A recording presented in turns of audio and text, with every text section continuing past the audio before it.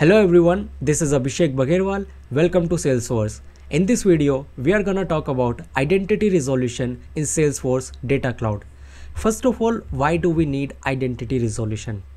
Let's see this example.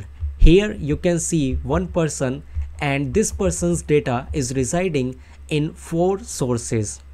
Okay, so when I ingest data from these four sources in my data cloud, then I have the duplicacy of the data. To get rid of that duplicacy, we need identity resolution that will match upon the record uh, upon the records and it will give me a unified profile or a unified record of this person from all of these sources.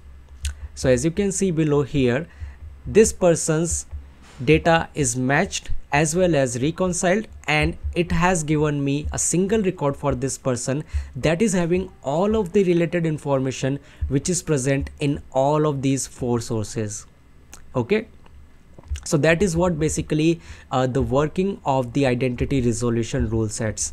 So you can see one example here of the identity resolution rule set.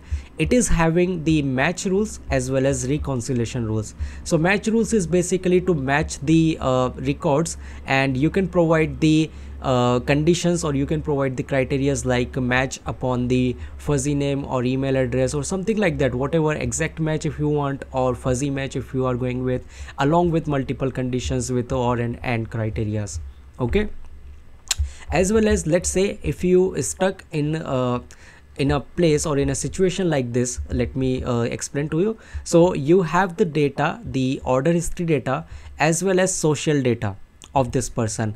Now let's say based upon the match rules it has given me in the result both of these records. But it still does not resolve my problem. Okay? So basically let's say if we just talk about the email address both of these sources are having different email address for this person. So which one i would want to use? So there basically in that scenario the reconciliation rules comes into the picture so reconciliation rules basically tells you to pick the data based on what situation. So there are three or three situation or three conditions present for reconciliation rules. First is last updated data. So let's say this one is updated three days back and this one is updated one day back. So this one is the last updated. So it is going to get the email address from this data source. Okay then second option is most frequent. So most frequent now it's gonna check in all of the data uh, sources and it's gonna see that which email address is used most of the times or most of the places. Then in that case it's going to use that email address. Now the last one is the based upon the source. You can also define that I would like to get this email address always in all of the cases from the social data source. So in that case it would always use the email address value from the social data source.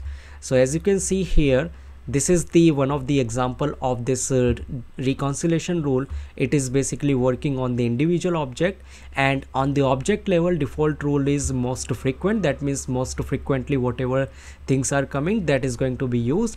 And on the field level also you can define whether you want to use most frequent last updated or source sequence. So that is basically how the identity resolution works in salesforce data cloud to unify the data about your individual persons.